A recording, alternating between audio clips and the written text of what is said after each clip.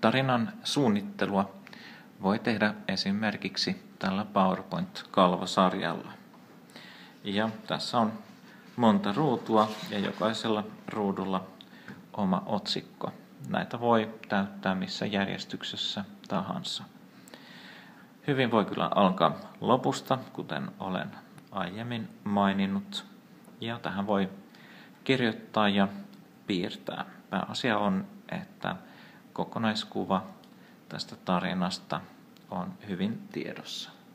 Kun se on tiedossa, on paljon helpompaa kirjoittaa tämä tekstimuotoon. Pertti oli vielä savupiipun nokassa. Mikähän tässä voisi olla se payback? Ehkä yhdet hansikkaat. Ehkä näiden avulla ää, Timo pääsi kiipeilemään paljon paremmin kuin, kuin Pertti. Seuraavaksi siirryn tähän ensimmäiseen ruutuun ja voin tähän kirjoittaa ja kuvailla, ketkä ovat nämä henkilöt.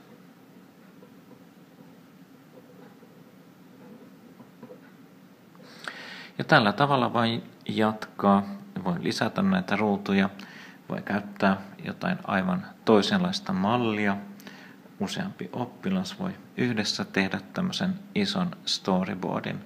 Ja kun kaikki on sitten valmiina, tähän voi kirjoittaa vuorosanoja tai siirtyä Wordiin ja yhdessä kirjoittaa kaikki nämä ruudut yhdeksi pitkäksi tarinakokonaisuudeksi.